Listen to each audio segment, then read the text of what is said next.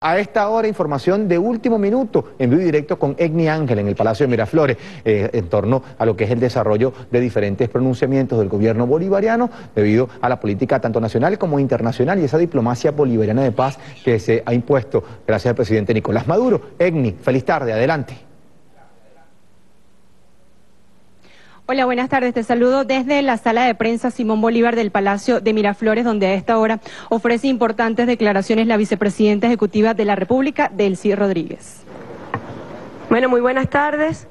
Hemos querido hacer esta declaración a los medios de comunicación para mantener informado a la población y a la comunidad internacional sobre el desarrollo de lo que ha sido la remisión de la situación de Venezuela ante la Corte Penal Internacional derivada de las graves violaciones, delitos de lesa humanidad cometidos por el gobierno de los Estados Unidos contra el pueblo venezolano a través de la imposición de medidas coercitivas unilaterales. Como ustedes bien saben, el día 13 de febrero nuestro canciller Jorge Arriaza se presentó ante la Corte Penal Internacional en La Haya y entregó a la fiscal la situación de Venezuela referida justamente a un caso muy especial, hay que decirlo así, a nivel de lo que tiene que ver con la jurisdicción internacional de la justicia penal internacional, por primera vez se está presentando un caso donde se demuestra que las medidas coercitivas unilaterales, que hoy constituyen un elemento fundamental de la política exterior de los Estados Unidos de Norteamérica, constituyen delitos de lesa humanidad. Nosotros hemos presentado un extenso informe donde documentamos todas las acciones derivadas, confesiones directas del gobierno de los Estados Unidos, donde informamos de cómo ha estado afectando a la población venezolana en general. ¿Por qué se constituye en delito de lesa humanidad?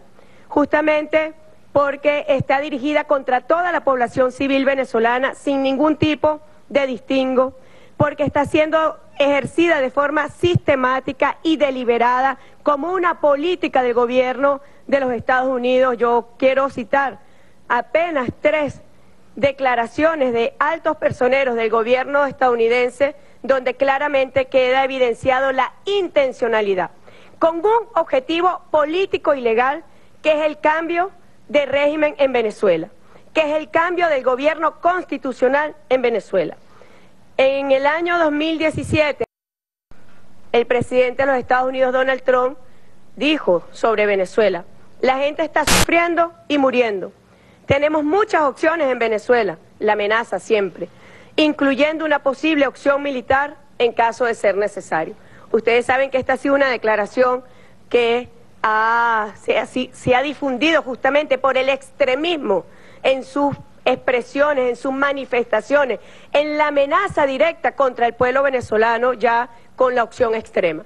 Pero las medidas coercitivas unilaterales también matan, también constituyen una violación a la prohibición expresa de la Carta de las Naciones Unidas que prohíbe el uso de la fuerza contra poblaciones civiles.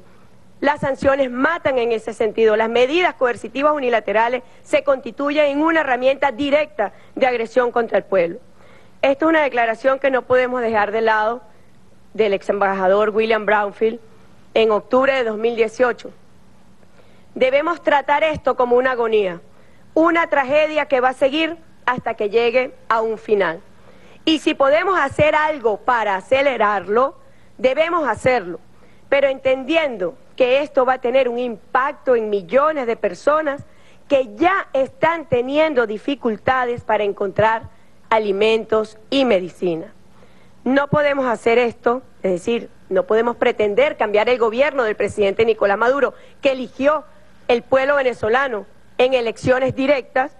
No podemos hacer esto y pretender que no va a tener un impacto. Tenemos que tomar una decisión dura. El fin deseado justifica este severo castigo. Esta es una de las confesiones más perfectas que también ha sido consignada ante la Corte Penal Internacional. Esta y muchas más serán consignadas. En enero del 2018, el Departamento de Estado, en un comunicado, la campaña de presión contra Venezuela está funcionando.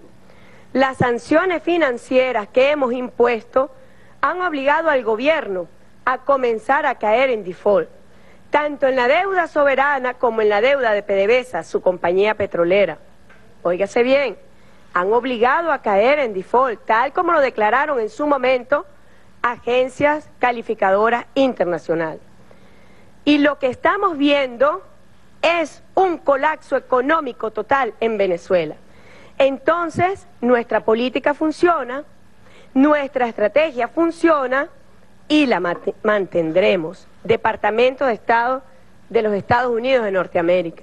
Hay una causalidad directa entre la intencionalidad, que es el cambio de gobierno en Venezuela, y las medidas que están usando, utilizando para causar sufrimiento a toda la población civil venezolana y tal como lo contempla el Estatuto de Roma que prevé y configura todo el sistema de justicia de la Corte Penal Internacional, está dentro entonces de sus supuestos para ser denunciado y para que se determine los responsables de estos crímenes de lesa humanidad contra Venezuela. Allí están las confesiones, allí y en cientos de declaraciones más, donde ellos asumen directamente, asumen directamente, y así lo dijo el secretario de Estado Pompeo, que estas sanciones ilícitas fueron coordinadas directamente por él y el presidente de los Estados Unidos, Donald Trump. Allí está la causalidad. Ellos lo confesaron, lo manifiestan, lo ratifican, porque la política exterior de los Estados Unidos está al margen de la ley, es una política ilícita, contraria al derecho internacional, contraria a los ordenamientos jurídicos nacionales, violenta toda la legalidad internacional y nacional, pretende vulnerar y violentar nuestra jurisdicción nacional.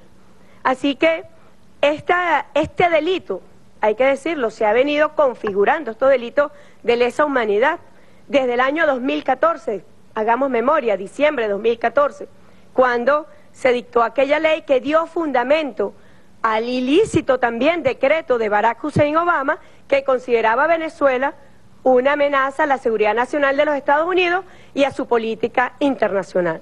Por cierto, orden ejecutiva que fue ratificada el día de ayer, como lo denunció nuestra Cancillería y el presidente Nicolás Maduro.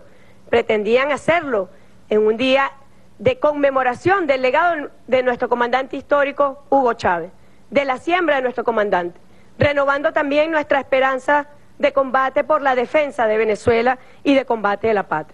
Pero desde diciembre de 2014 al año 2020 ha habido una línea de tiempo que también es importante desde el punto de vista jurídico para nosotros documentarla. Y tiene que ver cómo ellos han venido asfixiando la industria petrolera nacional, han atacado directamente a PDVSA, han dado, han restado operatividad financiera, logística, administrativa, a nuestra industria nacional, afectando directamente los ingresos en Venezuela, que como ustedes pueden ver acá y está también suscrito en esta remisión que hicimos a la Corte, aquí está, conforme al artículo 14 del Estatuto de Roma, allí se ve muy claramente la caída del ingreso nacional de más del 90.5% de los ingresos. Ellos lo han declarado expresamente. Este es el objetivo de crear el colapso económico en Venezuela, causando sufrimiento a toda la población. Al día de hoy, 176 entidades públicas venezolanas han sido sancionadas ilícitamente. 133 funcionarios han sido sancionados. 22 personas naturales por tener relación económica, financiera, comercial con Venezuela. Nueve buques extranjeros han sido sancionados por transporte de crudo venezolano. 40 buques de PDVSA fueron sancionados. 15 aeronaves de Conviasa, como ustedes lo saben, que es una sanción reciente y que causó el repudio contra el señor Guaidó, que es uno de los protagonistas nacionales, o llamémoslo antinacional, local, que ha promovido justamente estas sanciones junto a Julio Borges y otros traidores y enemigos de Venezuela. 41 aeronaves de PDVSA han sido sancionadas, Nueve empresas venezolanas han sido sancionadas, nueve empresas del Estado venezolano, 61 empresas extranjeras relacionadas también con, con Venezuela. Las sanciones, cuando nosotros vemos la línea del tiempo, diciembre de 2014, febrero de 2020, se han ido, han ido tejiendo una estructura para imposibilitar el ejercicio financiero por parte del Estado venezolano, para imposibilitar por parte del Estado venezolano la adquisición de medicamentos, de alimentos, de vacunas. Sabemos lo que significó la tragedia de la paralización de los programas médicos que tenía CITGO para atención en personas que necesitaban un reemplazo de su médula ósea. Sabemos lo que ha significado la paralización de programas médicos en PDVSA Argentina también para atención de pacientes con enfermedades especiales. Sabemos el impacto sobre las enfermedades crónicas. Ya el canciller en las próximas semanas ya se tiene identificado 27 informes por sector que serán remitidos a la Corte a través de la presentación que hará el canciller ante esta distinguida Corte Penal Internacional. Dentro de los informes más relevantes que ya tenemos identificados y que serán presentados, informes sobre las dificultades para adquisición de medicamentos, insumos y equipos médicos, directamente el derecho a la salud del pueblo venezolano. Informes sobre obstáculos para la adquisición de vacunas, nuevamente, atentar contra el derecho a la salud de los más pequeños y del pueblo venezolano. Informes sobre suspensión de programas de asistencia, ya lo dije, PDVSA en Italia, PDVSA en Argentina. El informe sobre el impacto de las medidas coercitivas unilaterales en niños, niñas y adolescentes.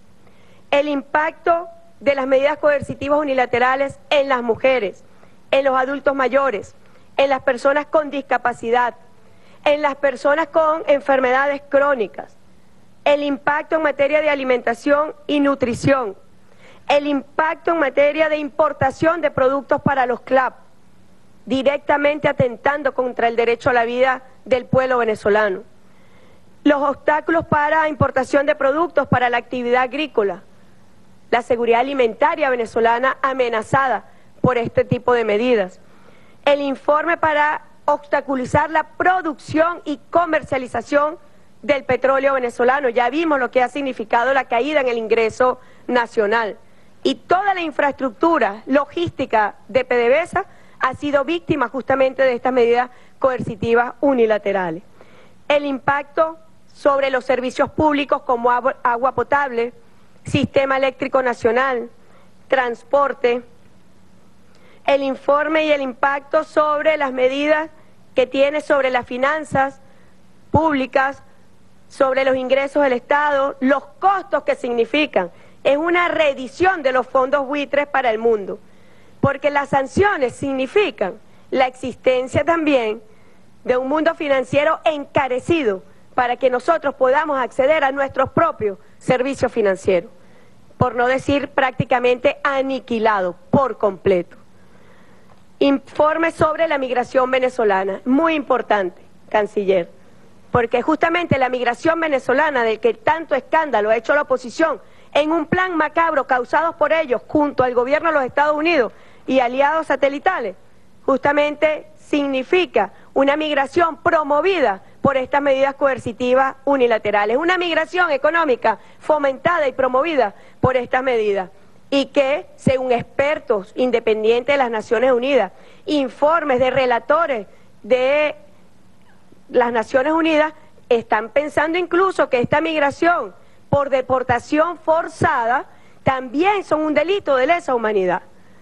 El tema de las medidas coercitivas unilaterales, de las cuales ya hoy en el mundo, como lo señalamos en nuestro discurso ante la Asamblea General de las Naciones Unidas el año pasado, ya abarca 36 países. 36 países han sido víctimas y son víctimas de esta política intervencionista, injerencista y que constituye sin duda una agresión de forma no convencional, pero que también tienen el mismo efecto de muerte y de grave sufrimiento contra poblaciones civiles. Está configurado en este caso, y así lo estamos demostrando ante la Corte Penal Internacional, está configurado en este caso un delito de lesa humanidad contra el pueblo venezolano.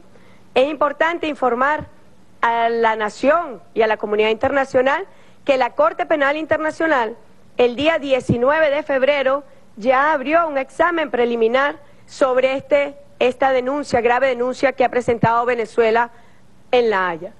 Ya existe el examen preliminar, es la primera etapa que se está presentando ya en este caso y luego eso va a derivar sin duda alguna en una investigación. Allí demostramos con números, el vicepresidente de Planificación ha sido acucioso en todo lo que ha sido la compilación de los efectos y del impacto, ha demostrado el impacto que ha causado en cada sector de la población, en los sectores más vulnerables de nuestra población y que, como ustedes bien saben, han promovido que el presidente de la República, Nicolás Maduro Moro, haya diseñado planes especiales para la atención de los más vulnerables. Que si bien es cierto, hay una agresión directa contra el pueblo venezolano, también está el presidente Maduro y la revolución bolivariana atendiendo a los más débiles, atendiendo a los, a los heridos sociales de esta guerra, preservando los derechos sociales de nuestro pueblo, porque en su conjunto estos delitos de lesa humanidad atentan contra los derechos sociales, económicos, culturales, en el concepto de la indivisibilidad de los derechos humanos, querido defensor. Yo quiero agradecer al defensor del pueblo porque en esta campaña nacional, hoy estamos presentando al país una campaña nacional donde este es el concepto. Las sanciones son un crimen. En inglés, sanctions are a crime. Esto es una campaña que debe movilizar a todo el pueblo venezolano, no solamente en nuestro país, sino que debe movilizar la solidaridad internacional. Y yo voy a informar en minutos cuáles son los próximos pasos que nosotros vamos a dar en esta dirección.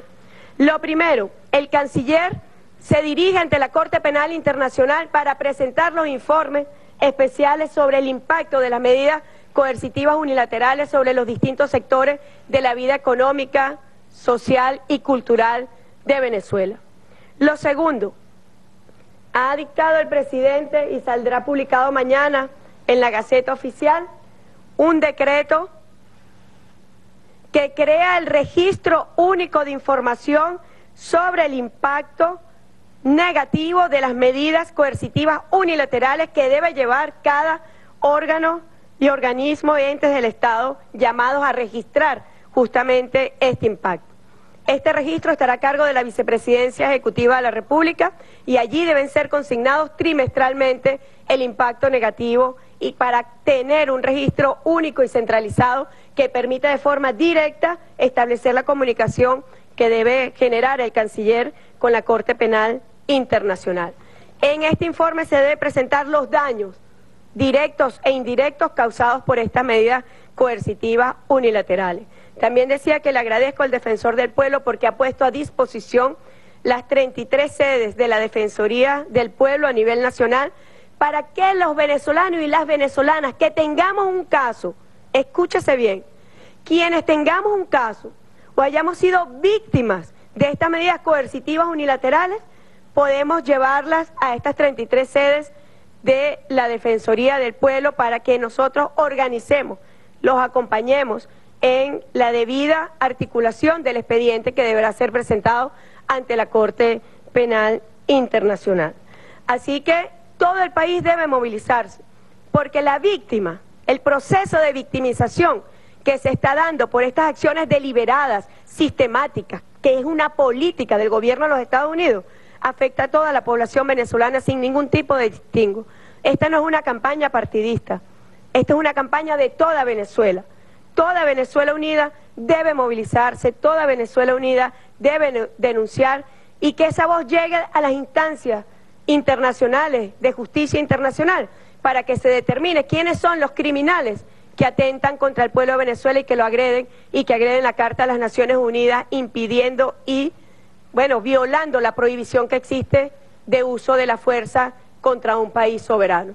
Así que arranca a partir del día de hoy esta campaña de gran movilización y unión nacional, de gran conciencia nacional, para que todos demostremos cómo hemos sido víctimas de estas medidas coercitivas unilaterales, canciller, usted tiene la responsabilidad y la Cancillería de llevar esta campaña más allá de nuestras fronteras para generar la solidaridad, para que se entienda bien, porque uno de los, de los pasos que se ha dado justamente contra Venezuela es el linchamiento mediático para impedir que se le defienda a nivel internacional.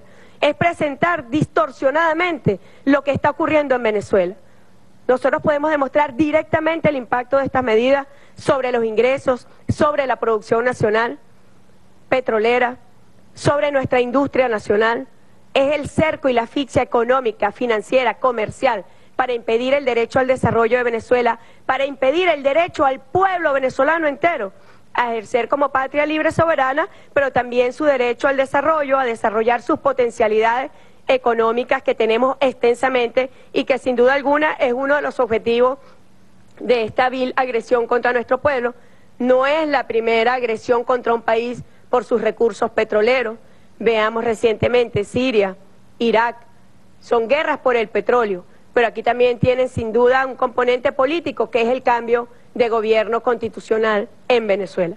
Así que toda nuestra patria, unidos y unidas, salimos a la defensa de Venezuela y seguimos avanzando. Nosotros estaremos comunicando e informando periódicamente sobre los avances. Ya este caso está en examen preliminar y nosotros entonces en este momento nos dirigimos a la Corte Penal Internacional a presentar los informes sobre el impacto negativo que han tenido estas medidas coercitivas unilaterales sobre los distintos sectores de la vida nacional de nuestra patria. Así que Venezuela adelante, Venezuela victoriosa. Con nuestro Padre Libertador, nosotros seguiremos por la senda de la dignidad y de la libertad. Muchísimas gracias. Venezuela denuncia entonces a Estados Unidos por delitos de lesa humanidad, todos estos amenazas por parte del imperio de Estados Unidos tipificados en el Estatuto de Roma. Ha presentado la vicepresidenta ejecutiva Delcy Rodríguez una campaña de movilización permanente con 10 puntos claves para defender la soberanía de nuestro país y los derechos humanos de los venezolanos. Es la información que podemos aportar a esta hora y que por supuesto será ampliada en las próximas emisiones de la noticia. Adelante.